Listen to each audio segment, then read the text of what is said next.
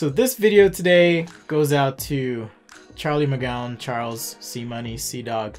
Not sure what you go by, but thank you so much for your contribution. We'll be covering a topic that Charles requested, which is how to sketch and draw rims and wheels. And we're going to use Procreate 5 for that because I want to show you some tips and tricks that'll help you speed up your workflow a bit. If you don't have an iPad Pro, however, that is totally fine. You can grab whatever you have. I always put the materials below in the video description so you have a few ideas of what to get and it also helps support the channel here. So with that, let's get started.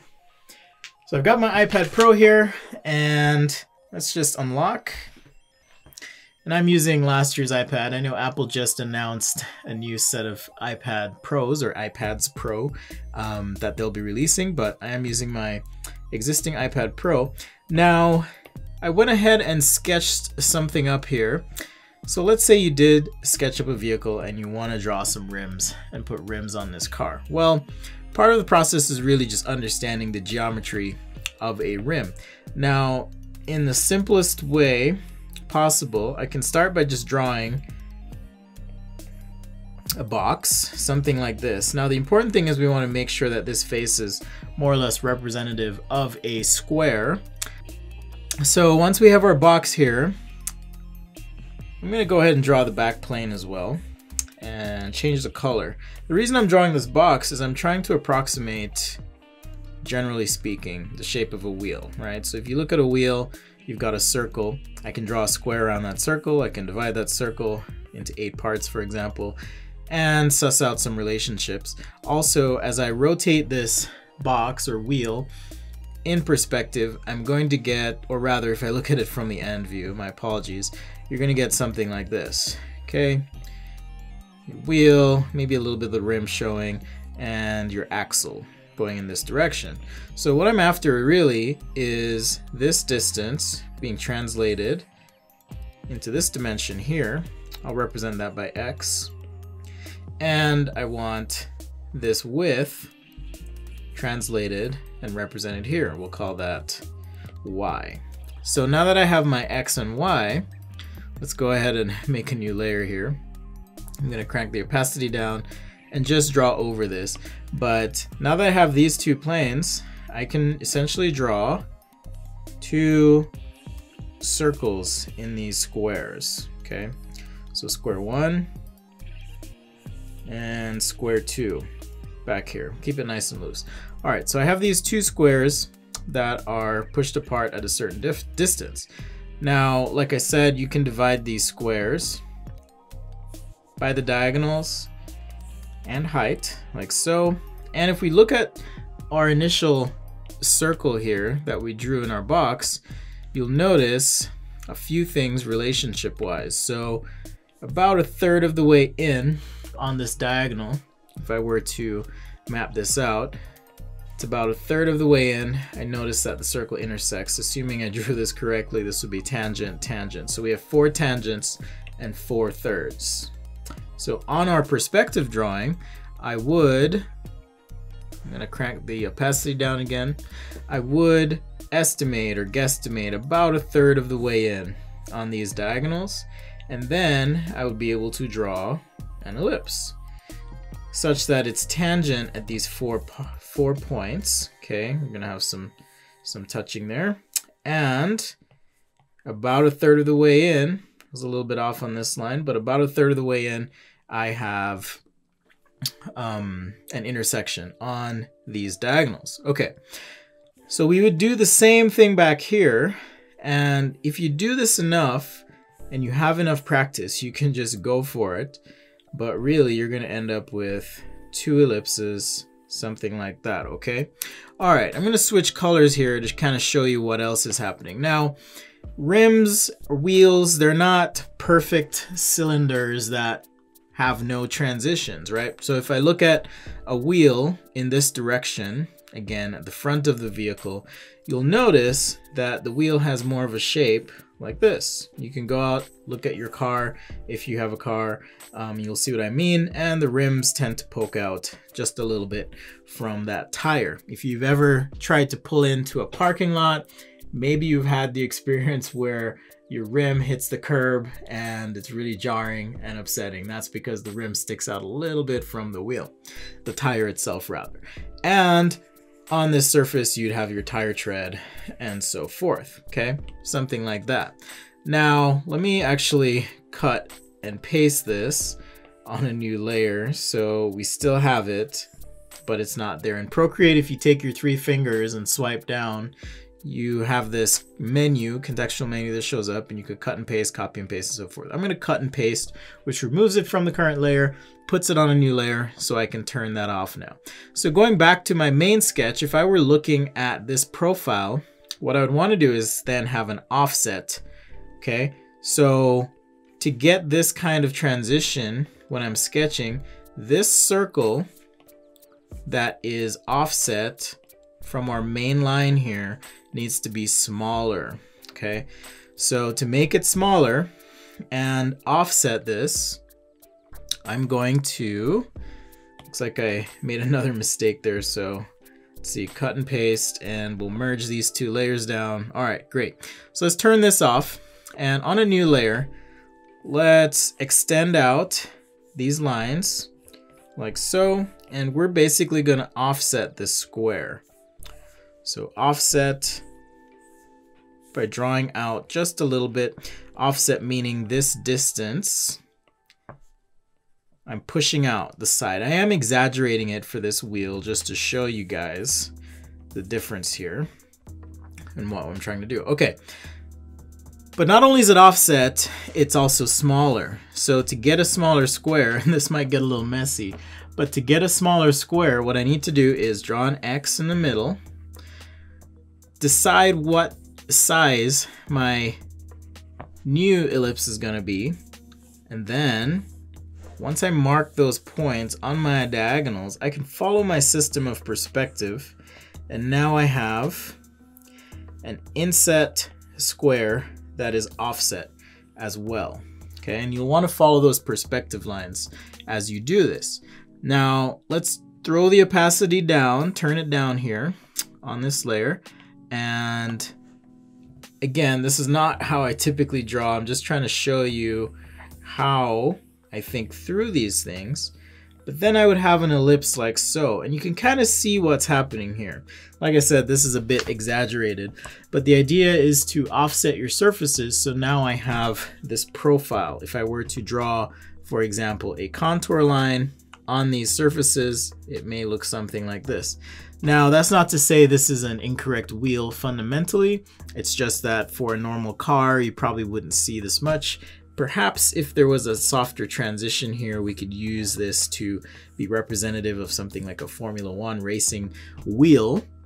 But for a normal automobile, we won't do that. So now that we've kind of got the principle, I'm gonna go ahead and offset this ellipse, turn off these layers, and I can now offset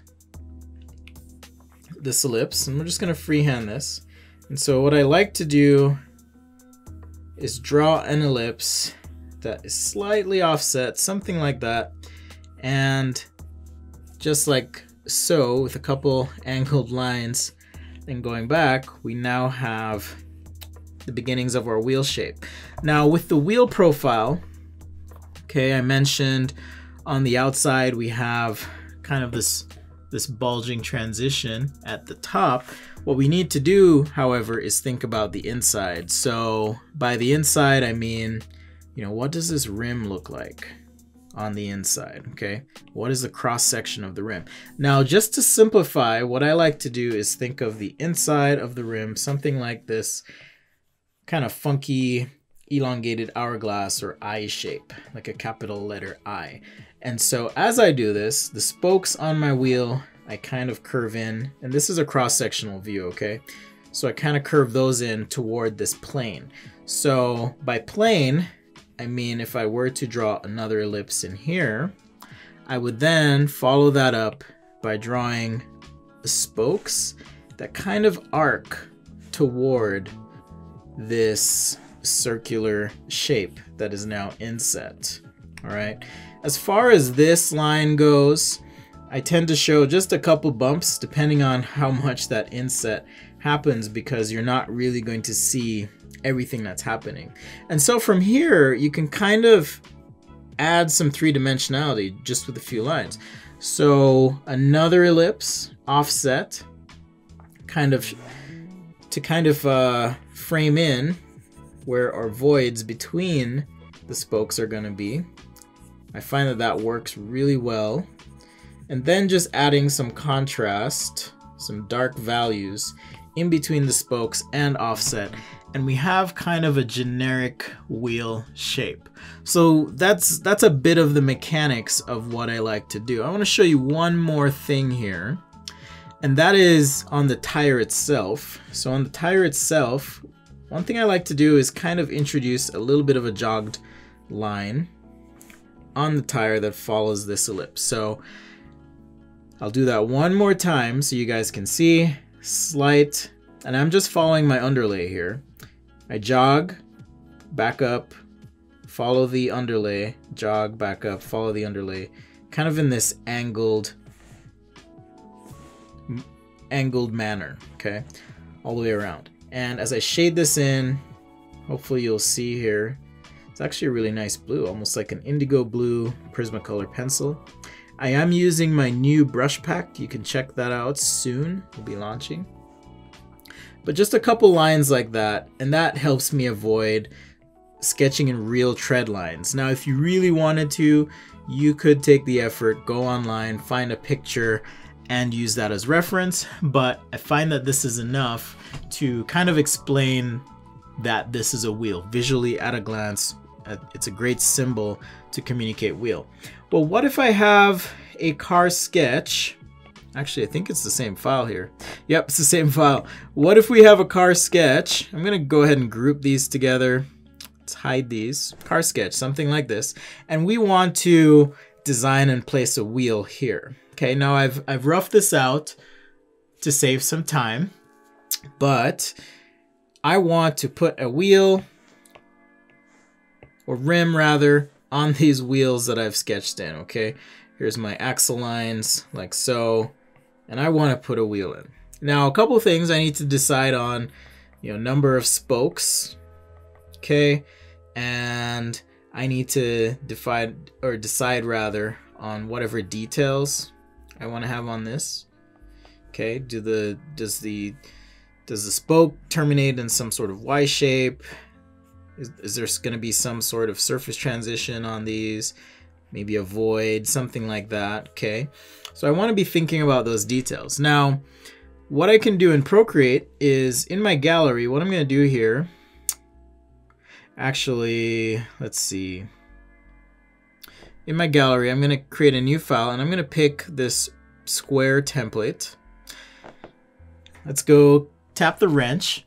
And once the wrench is activated, you have these menus and options. On canvas, you want to select drawing guide. Flip this toggle and all of a sudden you'll see there's a grid on the screen, or you should see there's a grid on the screen. Okay, my overhead camera is blowing it out a little bit. But in any case, you'll see this grid.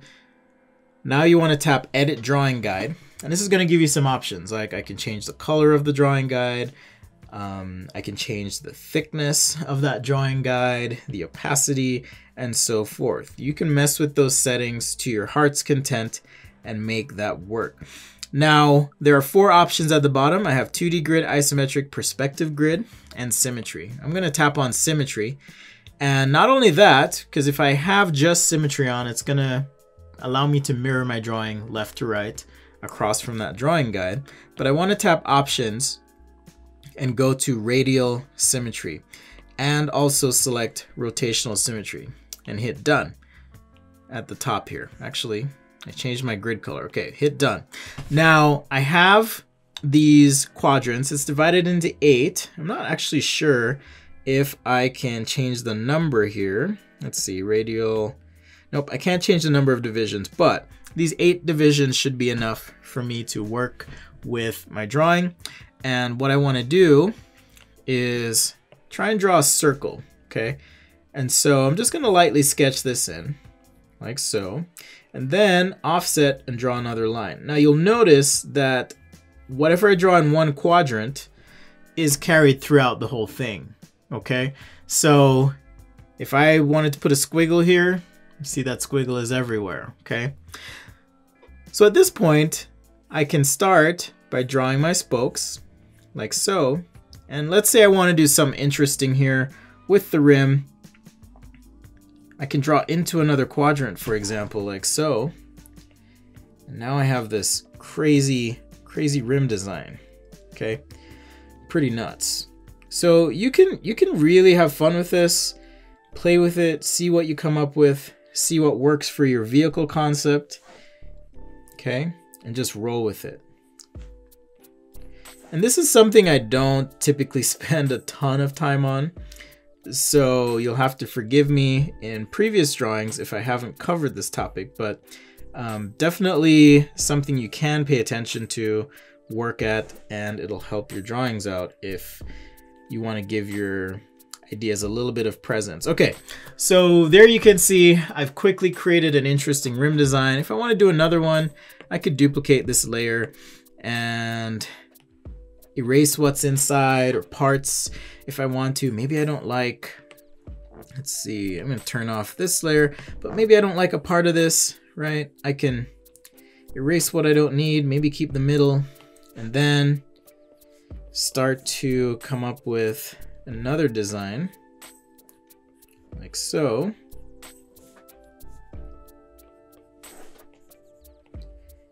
And this way, I quickly now have a new rim design. Okay, pretty handy. And pretty easy as well. So if you want to do something more complicated visually, this is a great way to execute on your design idea such that you can just quickly have a nice rim design or idea. You can even do things like applying some marker and tone. Now you'll notice that I am working in black and white and I'll explain to you why I'm doing that. I'm actually going to turn this rim design into a brush and we are going to use this brush to finish out our car sketch. So I'll even fill in these voids with my marker brush here and go ahead and tone this out, make it a little darker toward the middle and so forth, just like so. And when you're ready, you can turn off you can turn off the drawing guide for the layer. And the reason I'm doing that is I want to do let's see. I'm going to turn off the drawing assist. There we go.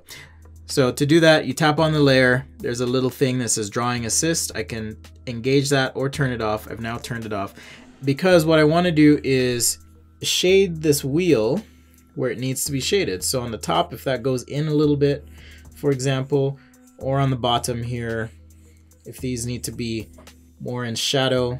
And I really do enjoy these brushes I've been working on. They are fun. They have that real natural look and feel to them. So I'm excited to share those with you guys, hopefully soon. And I want to hear what you think as well.